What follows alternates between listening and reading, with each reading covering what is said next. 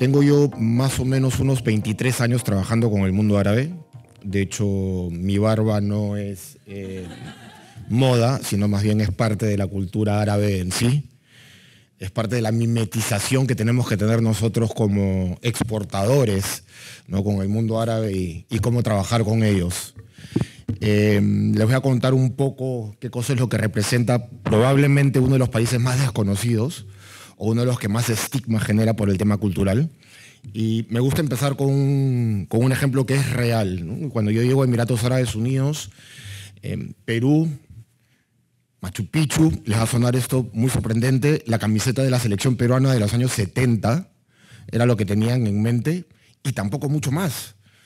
Entonces yo también estoy seguro si les pregunto a ustedes qué cosa es lo que saben de Emiratos Árabes Unidos o qué cosa es lo que saben de Arabia Saudita, lo primero que seguro que me van a contestar es desierto, la vestimenta entre la túnica blanca o la túnica negra y seguro que el petróleo.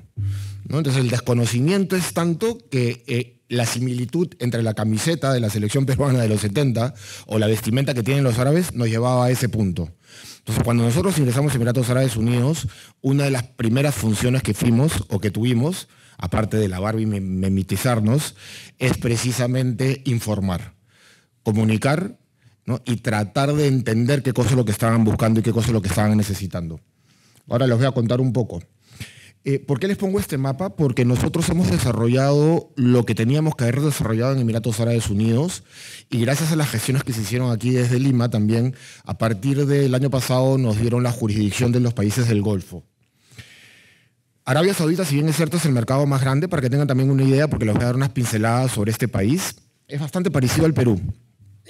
El Perú es más o menos el país número 19 en el ranking mundial en términos de tamaño geográfico. Arabia Saudita es el número 15. Ambos tenemos 33 millones de habitantes, para que tengan una idea. ¿Cuál es la importancia de tener en cuenta estos países? Es que si uno ingresa a uno de ellos, por ejemplo, si uno ingresa a Dubái o a Emiratos Árabes Unidos, sus productos ya tienen libre entrada a los demás países. ¿no? Porque hay un acuerdo entre estos seis países. Entonces hay libre frontera y libre tránsito por lo que solamente se paga una vez arancel, dependiendo del mercado al cual puedan llegar, o quieran llegar en todo caso.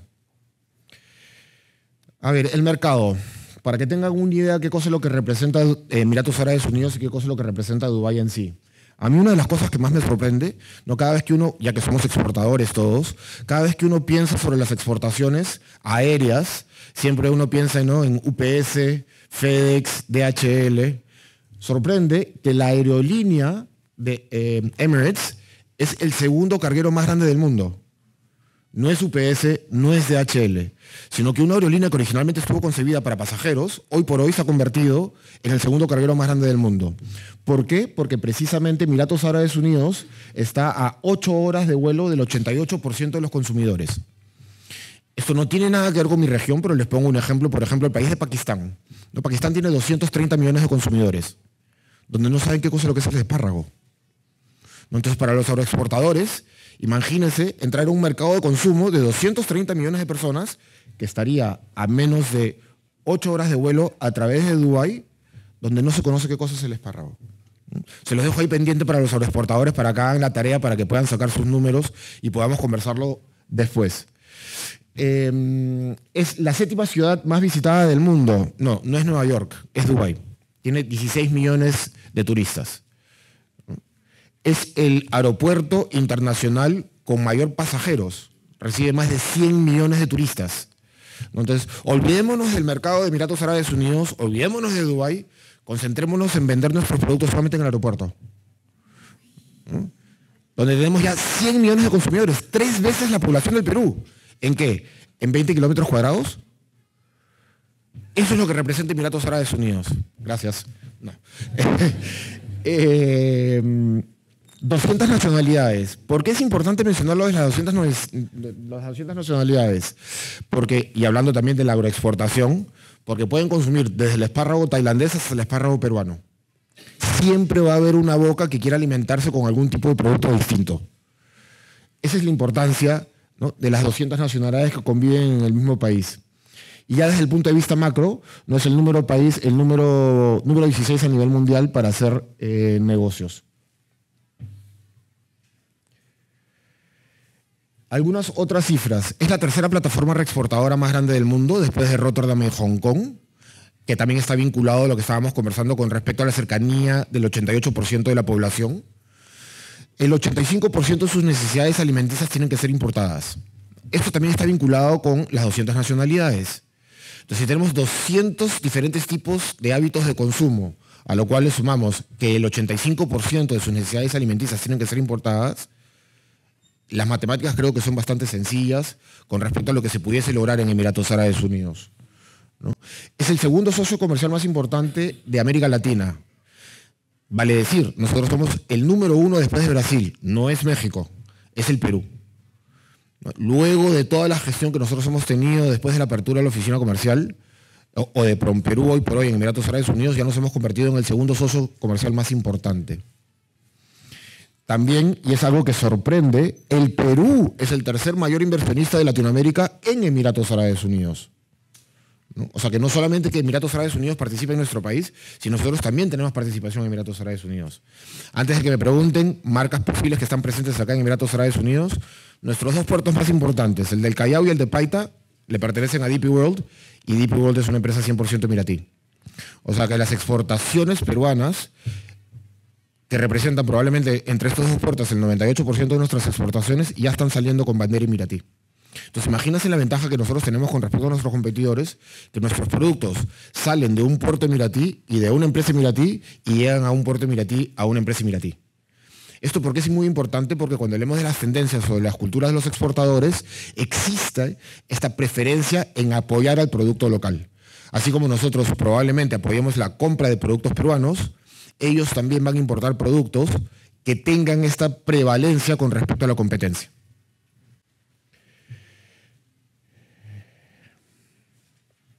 Indicadores macros.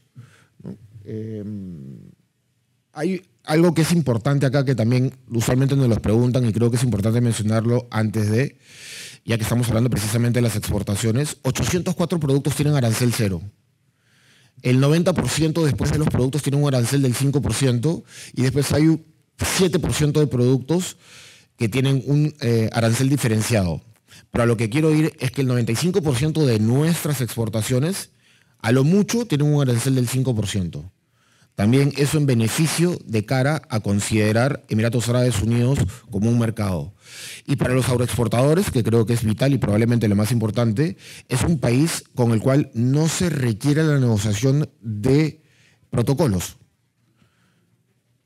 Lo estaba comentando ¿no? mi colega previa, por ejemplo, el ejemplo de las paltas y el proceso que tuvo que seguir el ingreso de las paltas al mercado chino.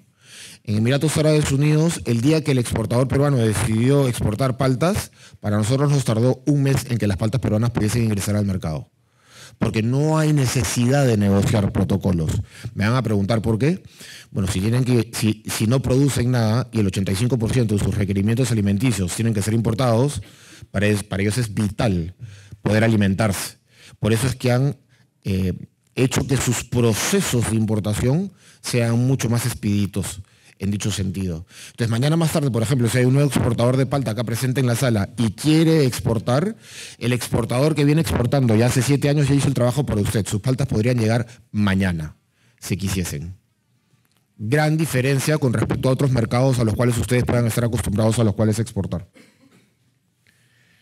Em, este, este, es bien importante, importaciones totales de Emiratos Árabes Unidos. Acá solamente estamos mencionando los tres mercados más importantes. Si hubiésemos puesto los cuatro mercados más importantes, justo después de Brasil estaría el Perú. Ahora, ¿qué pasa con Brasil? Porque también me van a preguntar, ¿y por qué no somos el número uno? Brasil tiene una gran ventaja que no tenemos nosotros. Brasil solamente entre pollo y carne vende 2 mil millones de dólares. Productos que nosotros no podemos exportar y así nosotros quisiésemos exportar toda nuestra producción de espárragos, probablemente tampoco pudiésemos competir con los 2.000 millones de dólares que vende Brasil de pollos y carne. Por eso es que nosotros somos el número uno después de Brasil. Las exportaciones totales de Brasil más o menos son de 3.5 mil millones de dólares, las del Perú están alrededor de mil millones de, de dólares. La diferencia es precisamente el pollo y la carne. Pero si no, nosotros seríamos el puesto número 4. Pero para que tengan una idea de dónde es que están viniendo eh, las importaciones totales de Emiratos Árabes Unidos. Las exportaciones totales de Emiratos Árabes Unidos. Aquí sí nosotros nunca figuraríamos, porque la balanza comercial peruana es súper, hiper, mega beneficiosa para el Perú. De hecho, nosotros no importamos nada de Emiratos Árabes Unidos. Es 99% a 1. Para que tengan una idea, en el 2011, cuando el Estado peruano decide abrir una representación peruana en Emiratos Árabes Unidos, el Perú le vendía 7 millones de dólares. Nada. En el 2022 llegamos a 701 millones de dólares. En el 2019, prepandemia, superamos los mil millones de dólares. Hoy por hoy, Emiratos Árabes Unidos se ha convertido en el quinceavo mercado más importante de las exportaciones peruanas. Por encima de otros mercados que nosotros probablemente en nuestra mente tengamos como si fuesen los más importantes de nuestras exportaciones. Entonces ya nuestra camiseta de los años 70 pasó a ser la camiseta del 2023. ¿no? Ya nos tienen presente, ya se olvidaron los años 70, ahora ya nos tienen presentes como si fuésemos el 2023. También es muy importante ver que del 2011 pasamos de tener 84 partidas a triplicar el número de partidas, pero sobre todo el número de empresas exportadoras. ¿Qué cosa es lo que marca la diferencia? Nuestra presencia física, el contacto personal, el hablar de uno a uno, estar en, hablando cara a cara en el mismo idioma. El árabe es mucho, pudiese ser como el peruano, es mucho de generar confianza, es mucho de tenerte cara a cara, es de ver qué cosa es lo que me estás contando. ¿Me estás agarrando me estás tratando bien? Eso es lo que significa lo que es la cultura árabe y la diferencia que podría tener con otros mercados. si bien es cierto, nosotros somos el quinceavo mercado más importante, aquí también hay que tener en claro porque me van a decir que hay mucha diferencia entre uno y otro. Aquí sí es donde nosotros entramos a competir con Rotterdam. ¿Qué cosa es lo que pasa? Que muchas de nuestras exportaciones hoy por hoy primero llegan a Rotterdam y después se van a Dubái. Eso es lo que estamos trabajando también hoy por hoy, en evitar esa exportación intermedia. ¿Por qué? Porque uno es más cara, dos, tarda más tiempo y tres, la vida útil del producto también se disminuye. Entonces, eso es lo que nosotros estamos tratando de trabajar hoy. Pero si ven el cuadro de la derecha, el 60% es agro. Eh, nosotros estamos convencidos, y acá les pongo también un ejemplo de lo cual estamos hablando, eh, por ejemplo, nosotros tenemos casi el 100% del mercado de quinoa. Nosotros tenemos el 50% del mercado de los espárragos. Entonces nosotros estamos convencidos de que en la dieta balanceada de una persona, una vez a la semana está consumiendo algún producto peruano. Una idea referencial también, ¿no? qué cosa es lo que representan las regiones. Lima representa el 37% de nuestras exportaciones, pero también es importante tener en cuenta de que no solamente es Lima, sino que también estamos hablando del Callao, que también estamos hablando de Lambayeque y que también estamos hablando de Ica. Súper importante este cuadro. 229 empresas que representan el 55% de las exportaciones, probablemente estén sentadas en esta sala, porque son pequeñas empresas. Porque también me podrían preguntar, sí, claro, es que llegar a Emiratos Árabes Unidos solamente pueden llegar las grandes. Todo lo contrario, si se dan cuenta, solamente hay 11 empresas grandes las que están llegando a Emiratos Árabes Unidos. Y más bien, el grueso de lo concentrado está entre lo que es pequeña, y mediana empresa. Vital para tenerlo en cuenta. Y ahora les voy a hablar de un ejemplo que para mí me parece fascinante, porque además empezamos esta aventura juntas. Y le pido disculpas de antemano a la persona porque la estoy viendo acá presente sobre el ejemplo que voy a contar por usarlo como ejemplo. Y precisamente es este ejemplo, el número uno. Hace unos meses salió una noticia donde decían de que por primera vez en la historia un producto peruano iba a estar presente en los Oscars. Ese producto pertenece a una empresa peruana. Me acuerdo clarísimo cómo en el 2014, conversando con estos empresarios, me dicen, Álvaro, yo quiero entrar a ese mercado, sé que ese es mi mercado. Iniciamos la aventura juntas. Hoy por hoy representa el mercado número uno de sus exportaciones.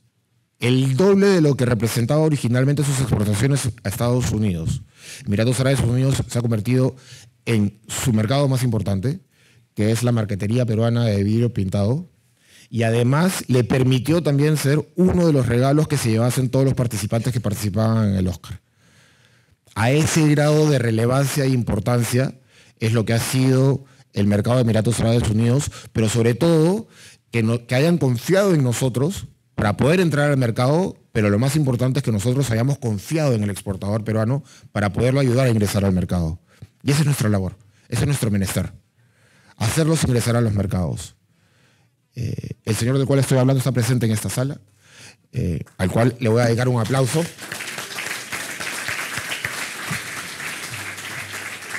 No voy a decir su nombre por respeto, pero creo que todos sabemos de quién estamos hablando. Eh, es el número dos para las habas peruanas, es el número tres para lo que es nuestros granos, metales entre lo que pudiesen ser boratos, plata y oro, ácido bórico, dátiles. Nosotros estamos vendiendo dátiles al mayor productor de dátiles del mundo.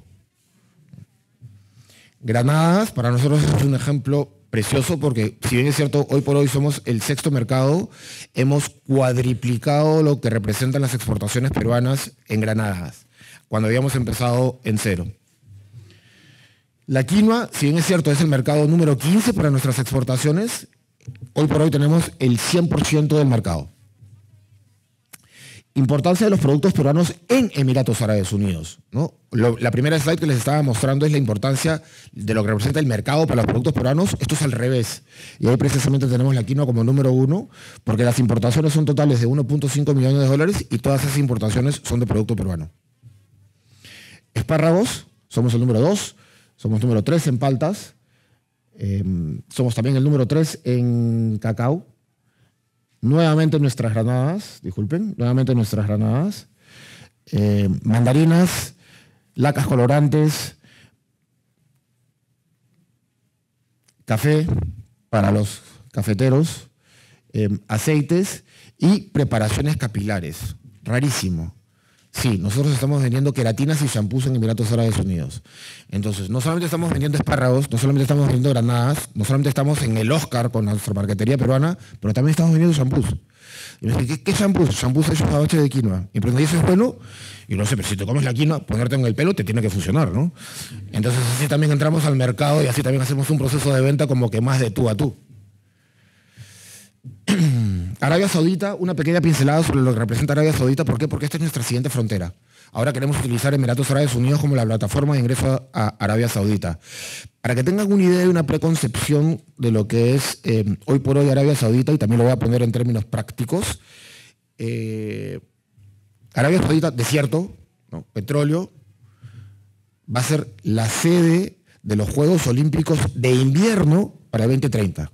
Y van a decir, ¿cómo que va a haber nieve en el desierto? Van a construir una ciudad donde van a tener nieve artificial a la cual ya le dieron los Juegos Olímpicos del 2030. Imagínense lo que es construir una ciudad, para que tengan una idea de todo lo que se va a consumir y todo lo que van a necesitar. Uno de los siete mega ejemplos. ¿Cuánto representan estos siete mega ejemplos? Tres trillones de dólares. Arabia Saudita tiene 33 millones de personas. Para el 2025 van a tener 100 millones de turistas. O sea, en dos años van a tener tres veces la población flotante de turistas. Esa es la visión que tiene Arabia Saudita. Imagínense venderle las marcaterías que están en el Oscar o imagínense venderle granadas que hoy por hoy no tienen a tres veces su población. Eso es lo que tenemos que tener en mente de qué cosa es lo que representa Arabia Saudita y hacia dónde está yendo Arabia Saudita.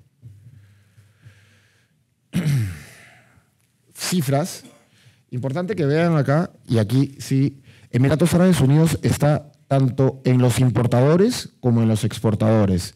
Y este es un ejemplo, ¿por qué? Porque antes la mayoría de las importaciones que se llevaban a, Arabia Saudita entraban por Emiratos Árabes Unidos, por lo que les comentaba al principio, que era precisamente este tratado de libre comercio que tienen entre ellos. Por eso es tan importante este, este cuadro para que lo tengan en una idea y mapeado de cómo es que entre ellos mismos ya existe un tránsito transfronterizo con respecto a las exportaciones. 2011, 4 millones, 2022, 13 millones. Espero que la próxima vez que esté hablando con ustedes, esa cifra de 13 millones por lo menos tenga tres dígitos. Eso es a lo que estamos apuntando. Esa es nuestra idea. La importancia de los productos, más o menos se repiten nuevamente porque lo que está pasando hoy por hoy es que los productos están entrando a través de Emiratos Árabes Unidos, Arabia Saudita. Esta lámina, em, con la venia también acá mi colega que también va a hablar de la India, creo que es sumamente importante para que tengan un marco referencial. Y me voy a concentrar en dos números. Emiratos Árabes Unidos tiene una población de 10 millones. La India tiene una población de 1.4 billones de personas. Sin embargo, Emiratos Árabes Unidos importa casi la mitad de lo que importa India. ¿Por qué? Porque es la tercera plataforma exportadora más grande del mundo. ¿Mm? Entonces, el 1% de la población está importando la mitad de lo que ya importa la población más grande del mundo. Tendencias y oportunidades, creo que estamos cortos de tiempo. Estamos cortos de tiempo, así que esto sí lo voy a pasar bastante rápido, pero creo que era más importante que ustedes tengan un marco y un macro de lo que representa hoy por hoy el mercado. ¿Cómo hemos pasado de que se acuerden de la camiseta de los años 70 que hoy por hoy estemos jugando el Mundial? Y lo más importante que tengan una idea de cuáles son los productos que hoy por hoy están presentes y qué cosa es lo que ha significado para el Perú y qué cosa es lo que representa y la relevancia que tiene para las exportaciones peruanas. Sin embargo, ¿hacia dónde estamos yendo y qué cosa es lo que se está viendo? El canal Oreca para nosotros es vital. Eh, reciben más turistas que Nueva York y les acabo de poner el ejemplo de lo que va a representar Arabia Saudita. Por eso que nosotros tenemos que tener también una concentración bastante grande en lo que es el canal Eureka. Si bien es cierto, el retail es el que nos da la asociación de marca de que estamos presentes en el mercado, porque al final de cuentas todos los supermercados tienen la obligación de poner el nombre de dónde son los productos y de dónde son importados, el canal Eureka es el que les va a dar la amplia rotación. Eh, el sector agro, para que tengan una idea de cómo se han movido más o menos las exportaciones, nuevamente mencionar que estas cifras deberían de ser multiplicadas más o menos entre 5 a 7. ¿Por qué? Porque hay muchos productos que están llegando a través de Rotterdam y no son productos que están llegando directo. Es más, de hecho, todos los productos que en su mayoría no son aéreos llegan a través de Rotterdam. Imagínense, son productos que están llegando vía marítima. Sin embargo, se nota claramente el, crecimiento de 82 eh, empresas con 82 productos. Eh, esto es lo que les comentaba. El Perú tiene el 27% de lo que representa el mercado de lo que son espárragos. El Perú tiene el 6% de lo que representa que es palta. Sin embargo, México tiene 34%. ¿Con qué palta estamos compitiendo nosotros hoy por hoy directamente? Con México, con Colombia. Miren, el, si hoy por hoy el Perú tiene el 6% del mercado y representa un consumo de 53 millones de dólares, imagínense todo lo que podemos crecer solamente en ese producto. Lo mismo podría pasar con los espárragos. Si hoy por hoy tenemos el 26% y representa 9 millones de dólares, ¿cuánto podemos crecer? Sin embargo, mandarinas, 60 millones. El Perú no está ni siquiera presente. Granadas, 83 millones. Y ya representa el sexto mercado más importante de nuestras exportaciones. No estamos ni siquiera entre los tres primeros países. Mango, 98, 98 millones de dólares de, consumo. Tampoco está el Perú entre los tres primeros países. solamente en este slide ya nos hemos dado que tenemos una posibilidad de casi 200 millones de dólares de exportaciones en cinco productos, seis productos. Esto se lo dejo para que ustedes lo revisen en casa. Creo que con la slide pasada les hemos dado una bastante idea de qué cosa es lo que estamos hablando. Em, es muy importante el tema de la presentación, al igual que lo que mencionaba mi colega Diana sobre lo que es eh, cómo tiene que tener y hablarles en Emiratos Árabes Unidos es igual. Recuerden que tenemos 200 nacionalidades, entonces tenemos que hablarle a diferentes, a 200 diferentes idiomas. Entonces, lo visual va a marcar una diferencia. Es muy importante que la presentación de una les diga qué cosa es lo que están marcando. Y ahora como tenemos, por ejemplo, en quinoa, tenemos producción de quinoa en la India, tenemos producción de quinoa en Tailandia, tenemos producción de quinoa en Ecuador y todas están presentes en el mercado, nuestra quinoa tiene que tener un idioma y un lenguaje distinto. Y eso lo tenemos que ver a través del empaque que se le presente. Em, un ejemplo igual más o menos al que nosotros estábamos hablando. Aquí probablemente frijoles marca una diferencia de 10 millones de dólares, nosotros solamente tenemos el 2%. Tipo de presentaciones, esto es súper importante porque nosotros hemos desarrollado, acá no sé si llega el dinero o no, pero dice Peruvian Pink Salt, ¿no? sal de maras. Nosotros nos asociamos con el mayor productor de snacks en Emiratos Árabes Unidos para desarrollar toda una línea a base de chips de quinoa. La que estamos mostrando hoy por hoy es solamente la que se refleja con sal de maras, pero se hizo una base con respecto a ají, se hizo una con base a rocoto. Si se dan cuenta, no, se puede apreciar muy bien en la imagen, pero esto es Machu Picchu. Las imágenes del bro es, Machu Picchu. Y si ven acá dicen Ancient Grain, ¿no? un grano andino antiguo. Esto es lo que también nosotros estamos haciendo. No estamos, solamente estamos haciendo la exportación, sino que estamos trabajando directamente con el importador para generar una diferencia en el mercado. Y para crear un producto de valor añadido y para generar también lo que a nosotros nos representa una diversificación del producto en sí que además no solamente es la importación de la quinoa, sino que ya estamos hablando de un producto final de consumo. Actividades que hemos hecho en los supermercados, que creo que les dan una buena idea. Eh, si se dan cuenta, este, esta marca es una marca Emiratí, para los que venden café. Una marca Emiratí nos contactó a nosotros porque querían desarrollar su propia marca de café. Importantísimo que sigan manteniendo el logo de Perú. Perú ya marca una diferencia. Comprar un café peruano ya es diferente. Tener en tu el café peruano es distinto. Y la marca es completamente eh, emiratí.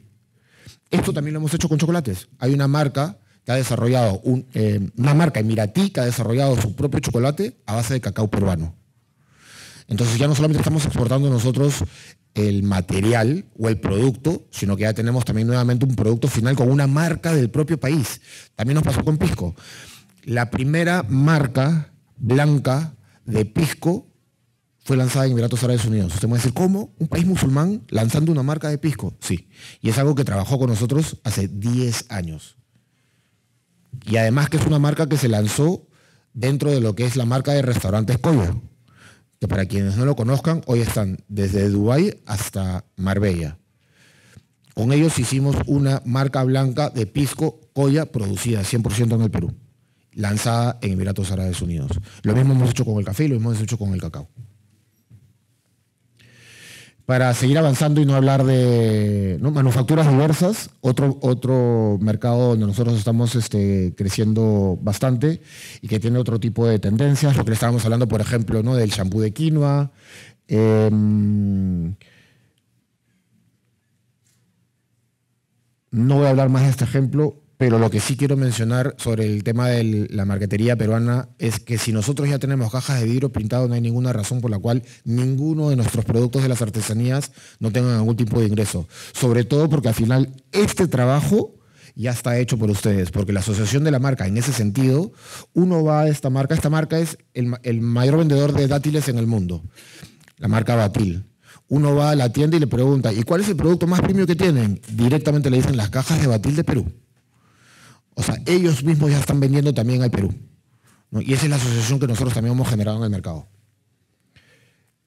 Em, lo que les estaba mencionando de Arabia Saudita, para que tengan una, breve pincelada de lo que significan lo que son los proyectos.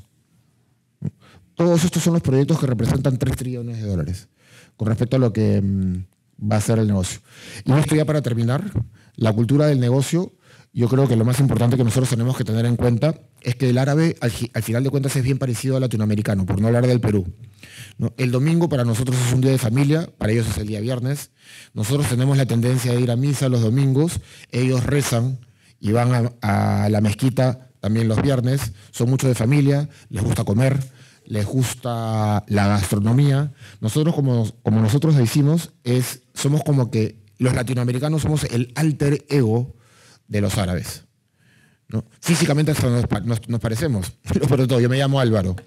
¿Cómo se llaman la mayoría de los apellidos árabes? Al-Jalifa, ¿no? Al-Duay, Al-Jumeira. Entonces voy al aeropuerto y me dicen que tú usted también es Al-Baró, ¿no? Y también me paran, tengo que hacer la... Entonces, entre peruano y mi cultura árabe ya me paran siempre. Entonces siempre tengo esa, e, e, ese conflicto, ¿no? Em, yo creo que los dejo eh, con esto porque si no me quedo sin tiempo. Creo que los números hablan por sí solos. No es tan distinto y tan lejano como nosotros lo creemos o lo tenemos visto. La cantidad de productos que ya están presentes y la representación y relevancia que nosotros tenemos y al grado de que los propios emiratíes hayan desarrollado sus marcas con productos peruanos, creo que es el mejor ejemplo que nosotros podríamos tener. Entonces, si ya nosotros nos ganamos un Oscar, ¿por qué no apuntamos a ganarnos dos o tres Oscars? Muchas gracias. Compunche Perú. Bicentenario del Perú 2024. Gobierno del Perú.